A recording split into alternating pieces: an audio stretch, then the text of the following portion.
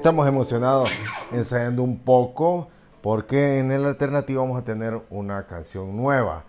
Así que espero, eh, escriban en, la caja de comentarios qué banda y qué canción es la que estamos tocando. Para aquellos que les gusta eh, la música rock, esta es una banda hardcore, para darles alguna pista.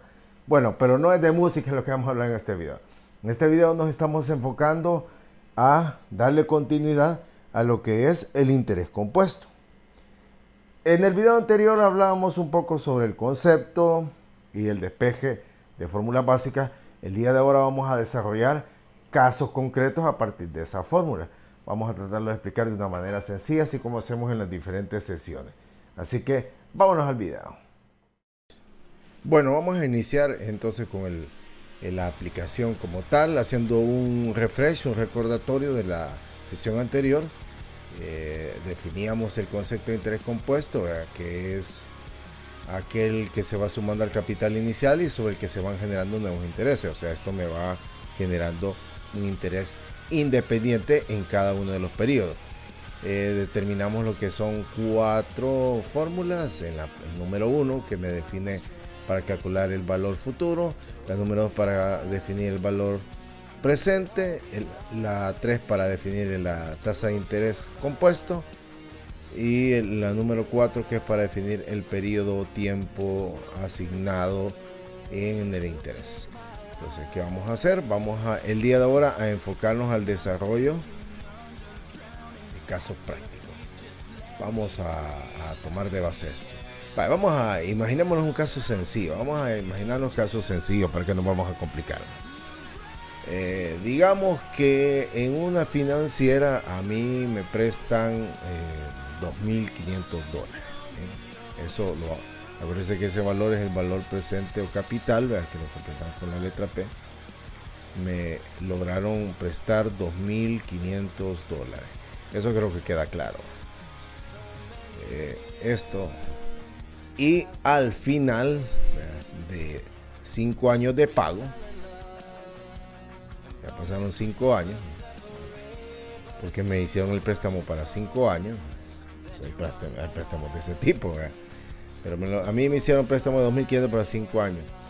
Y al final de los cinco años, este, por ejemplo, me, nos tocó, nos tocó hacer un pago, un pago equivalente de este, 3.700 dólares. O sea, al final pagué todo eso. O sea, aquí hay intereses asignados. Y consultan cuánto era la tasa de interés, por ejemplo. Cuánto era el interés o la tasa de interés que se me aplicó a esta operación. Entonces ya tenemos tres datos. si se fijan, me están pidiendo la tasa de interés ¿Qué fórmula ocuparíamos? Pues la número 3, la que estamos marcando acá. Eh, para que vean que esto es fácil, esto lo único que hay que tener claro es las fórmulas que vamos a aplicar y a partir de eso pues ya se hace de, manera sencilla. Entonces en este caso vamos a la fórmula. Sería que la tasa de interés dice que es igual a la raíz enésima o a la raíz n del periodo, o sea que va a ser la raíz quinta. Solo estoy escribiendo la forma.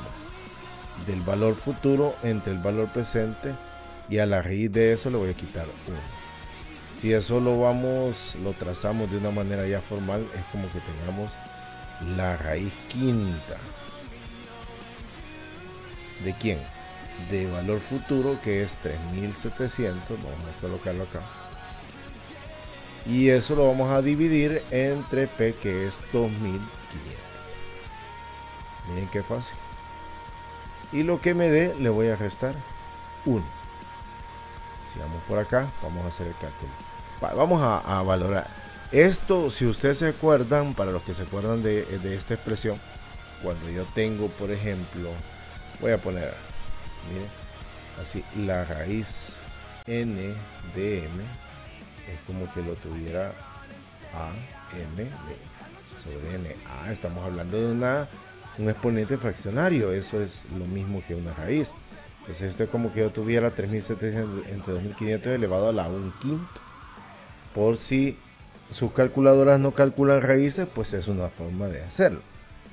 Nosotros vamos a... Me ayudan a operar, ustedes háganlo en sus casas y yo lo voy a hacer acá y vamos a sacar el, valor para ver si llegamos al mismo resultado.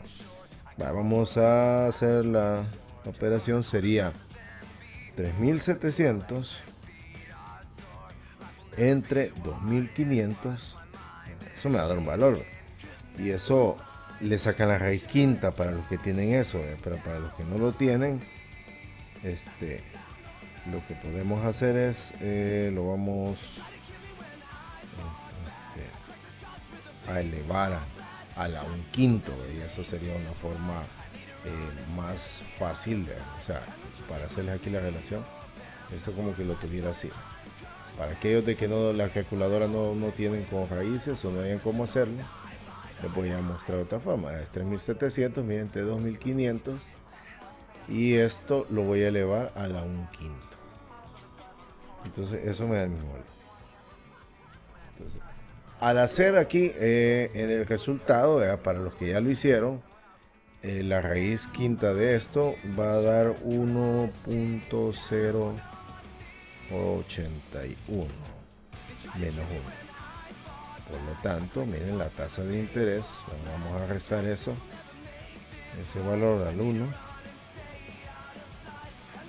Y ustedes me indican cuánto les da ese resultado.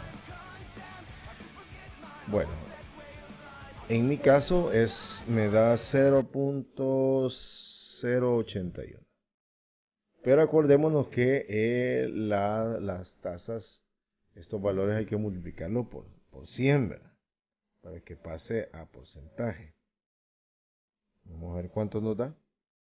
Por 100% es el 8.15. O sea que la tasa que me aplicaron es del 8.15%. Sí, 15. No, 16 aproximadamente. Con que hay que aproximar en aquellos casos donde amerita. En este caso como da, no sé ustedes, pero a mí me da 8.1564 entonces esto se aproxima a 8.16 y es anual.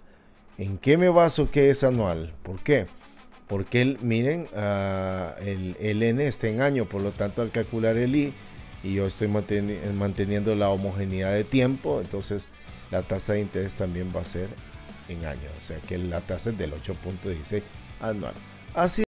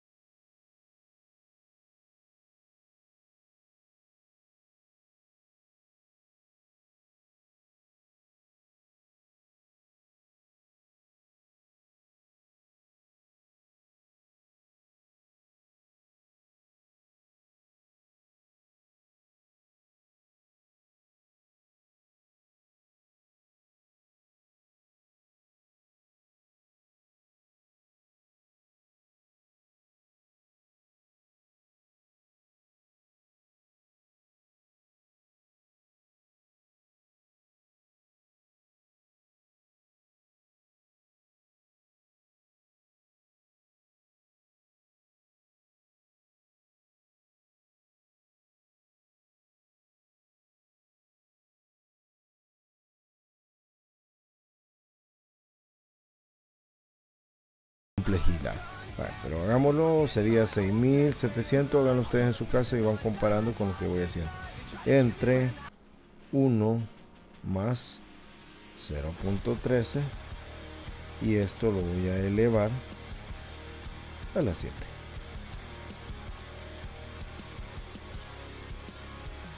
Aquí el uso de las de los paréntesis es es, importante porque si no eh, le va a dar le puede dar otro tipo de resultados y no es lo que nosotros queremos. Aquí.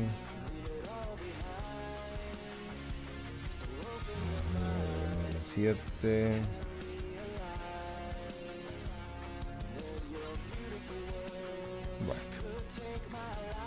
según esto me da a mí 2000, ustedes lo comparan, 2847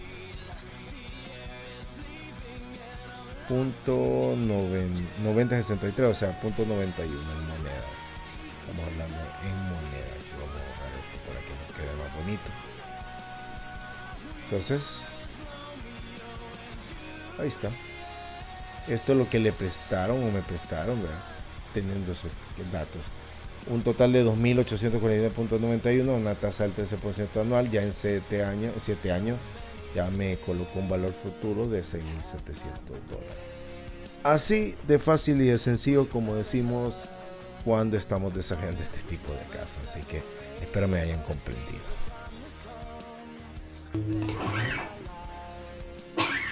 No hay forma más fácil de comprender algunas situaciones a partir del desarrollo de casos prácticos.